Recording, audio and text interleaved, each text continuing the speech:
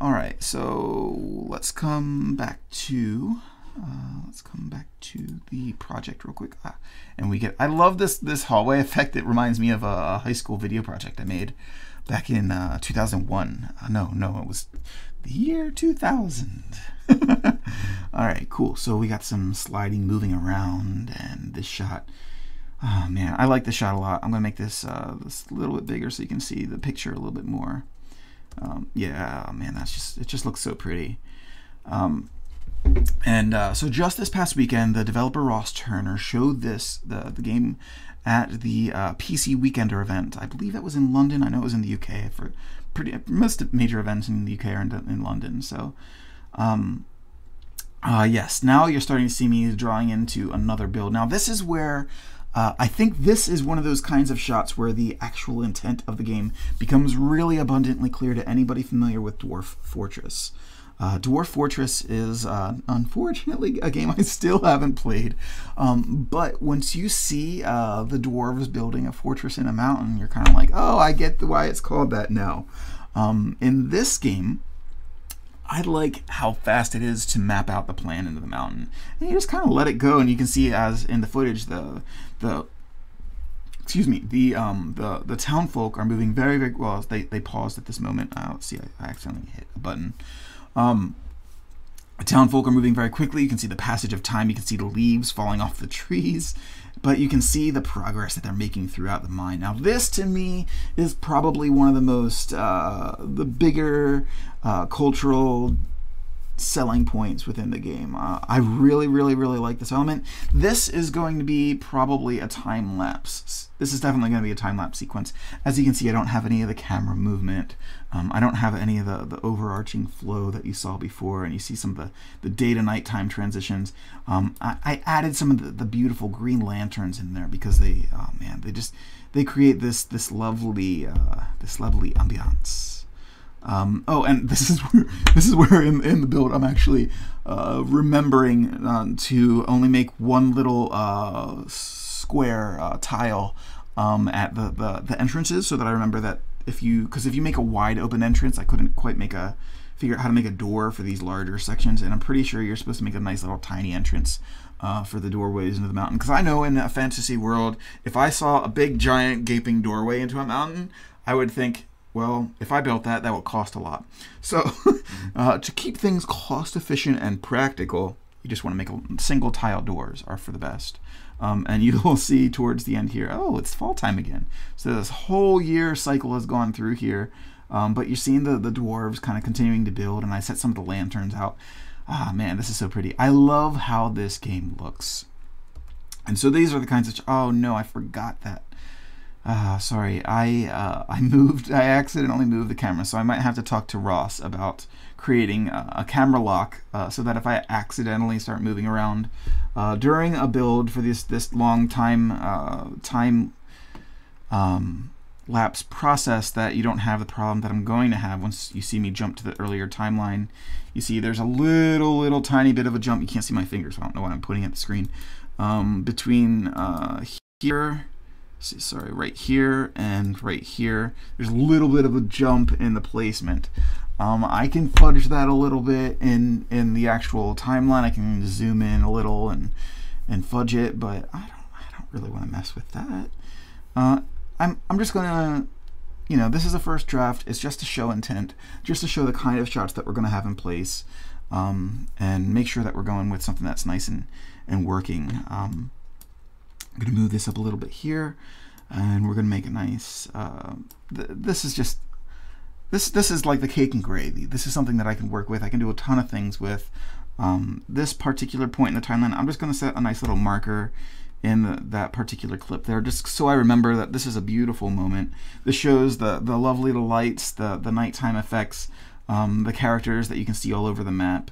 Um, and hopefully this sparks the imagination for um, creating and crafting a colony that um, yeah it, it it sparks my imagination and I'm not really into into crafting and and uh, uh, creativity-based games because it reminds me a little bit too much of this workspace.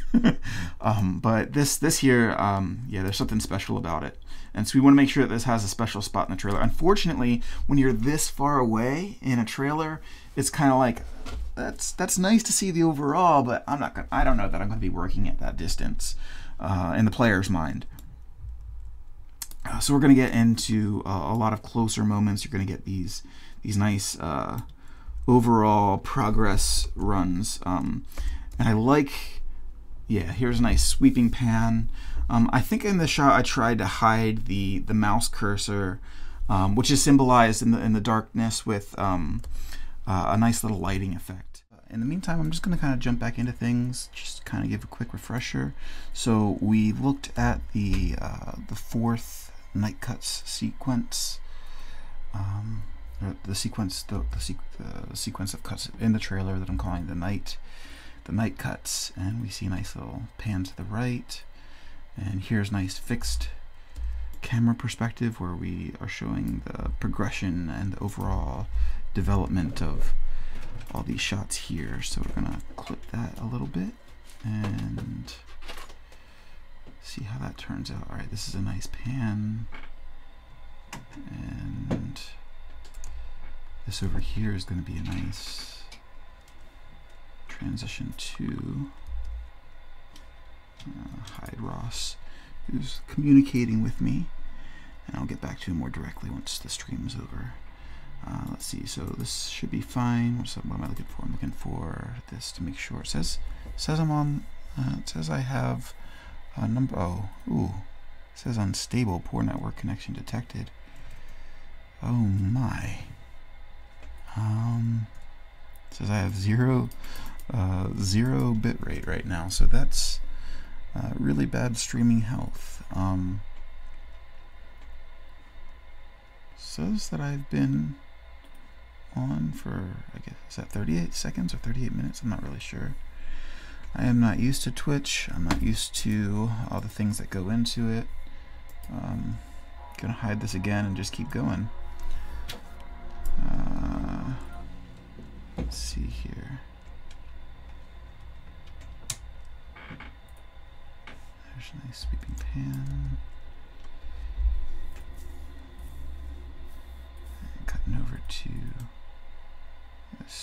Is a diagonal pan. This one's pretty good.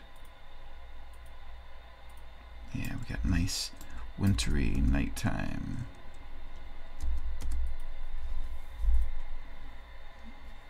You can see all the dwarves bringing massive amounts of stone. Yeah, that's probably about where that shot's gonna have to stop because it doesn't doesn't necessarily get more interesting as you get further into them. Actually, I guess around here is where it starts to get interesting again. Just let that. Mm, no, I changed some camera direction. That's not good. Uh, yeah, this there's too many course corrections happening on screen for this to be useful. Let's just jump down to this here where it gets, that's way too fast.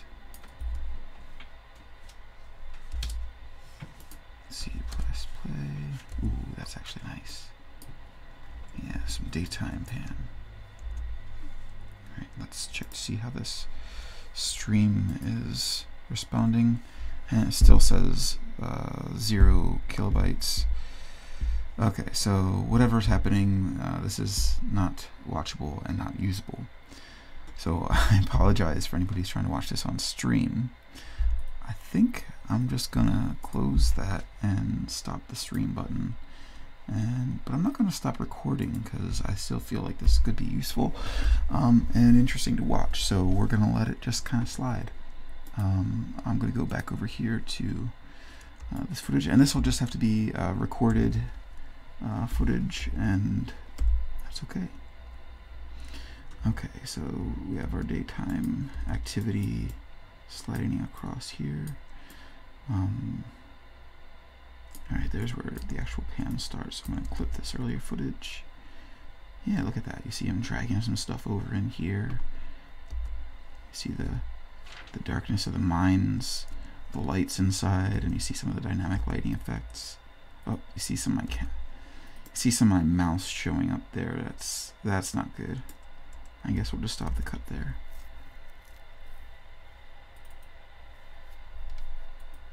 All right. Yep.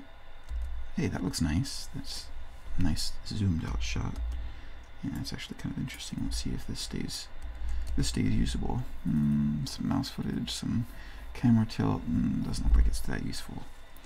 So we'll just keep going, speed up the timeline a little. This downward pan might be useful. Let's see how that looks. Yeah, that looks nice. Yeah, very nice. Shuttle backwards a little bit. Okay, we'll let that run. Actually, you know what? I'll move that edit, move that edit down. We're starting to forward. Uh, starting that upward pan again. Uh, there's some camera movement there, so that's not useful.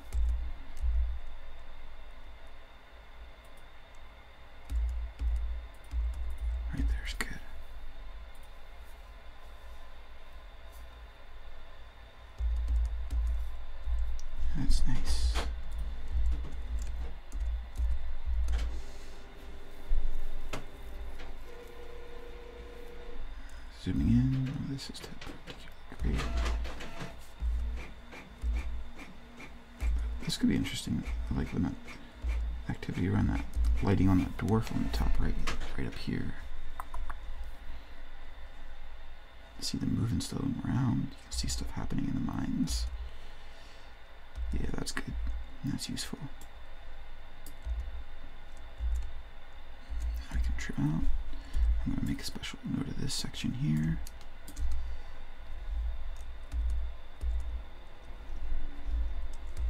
Save project, make sure we're saving the progress. Actually, this right here is not bad. See them moving out of the mines. Into the massive stockpiles with lots of different kind of ore and gems inside. And that's where the camera gives up the end of our cut. Oh, here's where the night nighttime comes, lights come out. Trying to get a nice close up. Oh, this is where um, just this is a shot specifically set up for for uh, motion graphic text. Uh, so what that means is that um, it's probably a pretty boring shot, um, but just to make sure that you are feeling like you're in the world while the, the camera moves around and creates a framework for, uh, you might put some text up here. Actually, that would probably be pretty perfect. Some text right up here while these, these guys are moving around. Yeah, I like the sound of that.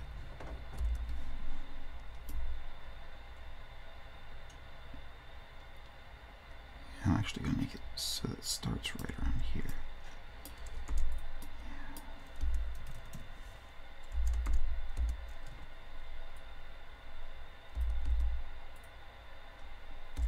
Make that cerulean because that's the color that I use. It's just my personal code for something that I'm going to use for motion graphics.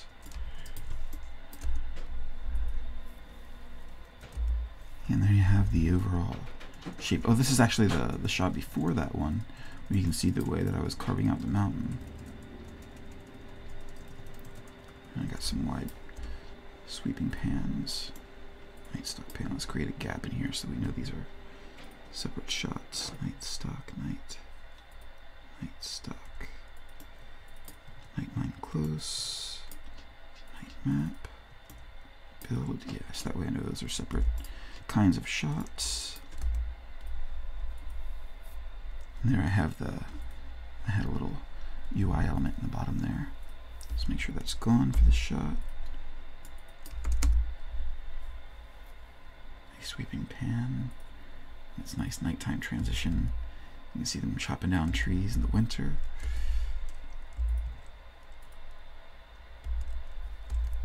Oh, what that one tree fell on, that was actually really nice. Hmm. There's no movement on the camera, so yeah, actually.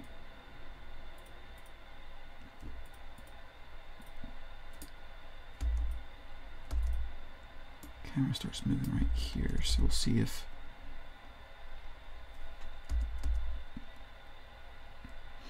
it's not the most interesting shot, but I don't like moving to the left, but we'll save that just in case.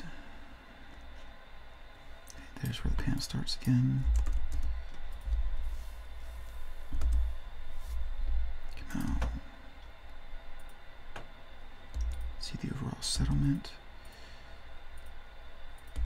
It's nice.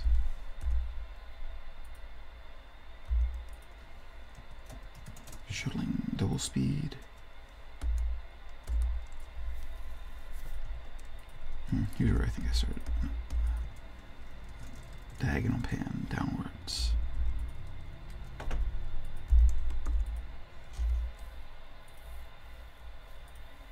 Hmm, yeah, you start to see the mouse cursor show up on the screen right around there.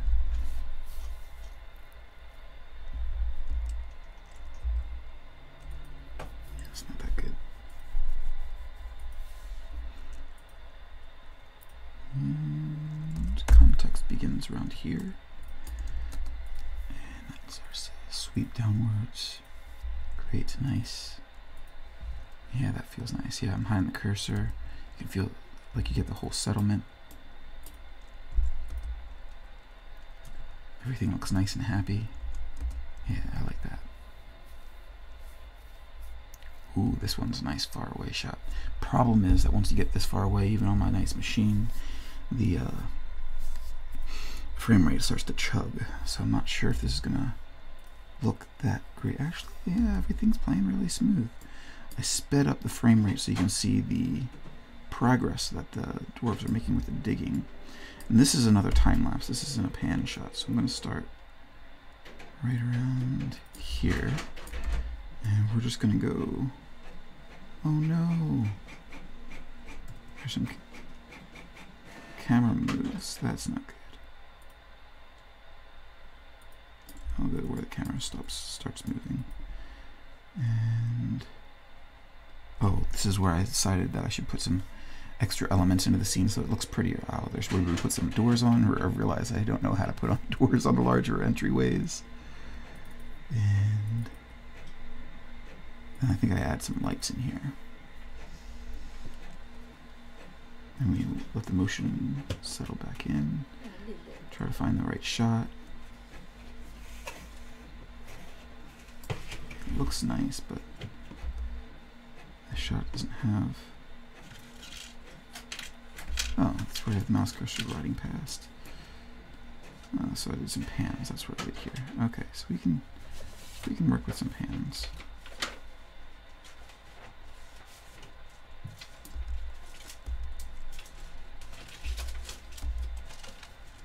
Yeah, you see the mouse cursor in there. I think that that's actually useful in this case. Uh, but I'm going to set this as a separate shot concept.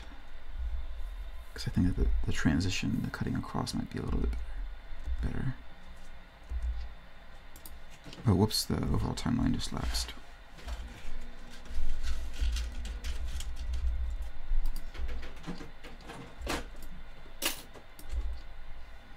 Go over here. Hmm. Yeah, the player role in that situation is a little bit more clear because it's clear that the player's looking for where to put the door and just looking around thinking, I like that. And that's, in this case, of course, the player is me. So we're going to call that right there.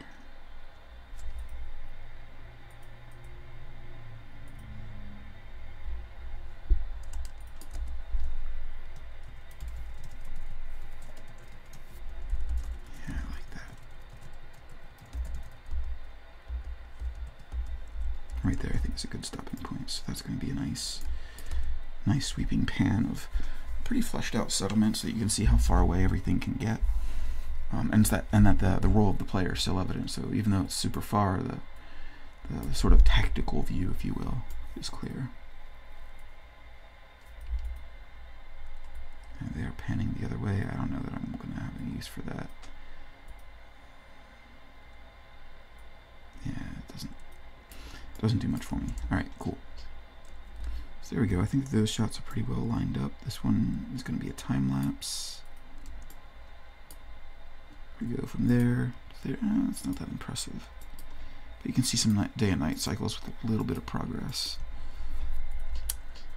this is the real time lapse all the way back here, and you can see it goes all the way from there to there to digging stuff out. Man, that's nice. I like that. Cool. Actually, you know what? I'm going to organize this a little bit here. Put these two time-lapse sequences back to back. Uh, just in case I want to use one, like one or the other. I, get, I have reference on how they both work. Uh, and time lapses can work pretty well in trailers if you use them just right. They're tricky. Alright, so then we have the climax cut section. Um, let's see how we're doing on time. I just want to make sure that this stream or this particular recording isn't going too long. Um, it's got 15 minutes in it so far. Okay, so cut back over. Mm -hmm. All right, now this is the last. This is kind of like the last section, and I don't know why having some really nasty camera stuff happening on this footage. I think I saw that in the source material. I thought that maybe it just was being wacky. But no, it's showing up in all the footage.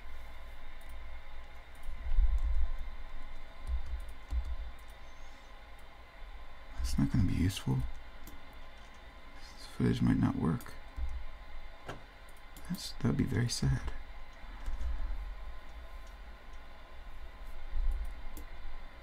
I know that each game, each kind of capturing process has its own nuance. Um, and it could just be that there's too much data from all the, things that are going on in the scene. But yeah, definitely this this footage isn't. The zooms on this at least aren't aren't working, much as I would like them to, which is sad.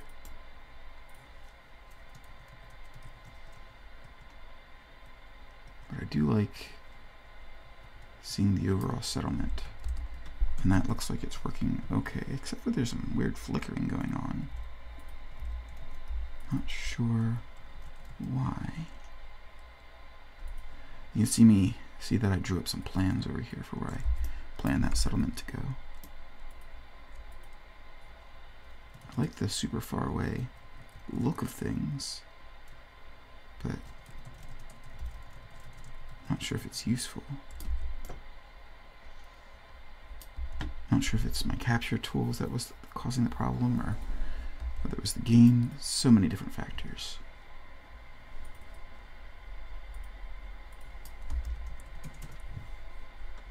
Alright, we have this. Oh man. Yeah, that that jitter in there is no good. Because I may have lost all those shots be very sad. I might have to. I wonder if the performance it's a performance issue because I'm recording in lossless format, which I might have to try uh, accelerated format to see if that works better. yeah, this is too jittery. None of this stuff is going to work. Which is really sad because this was this looked really pretty.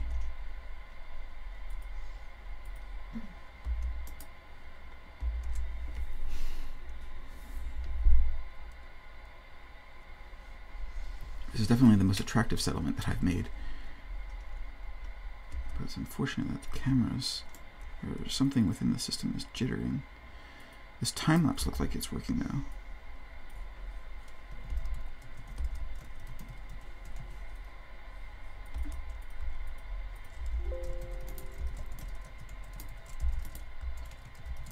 let's see if mark this in, mark that out just render that sequence and see if that solves anything. If it's still jittery, then there's nothing that I can do.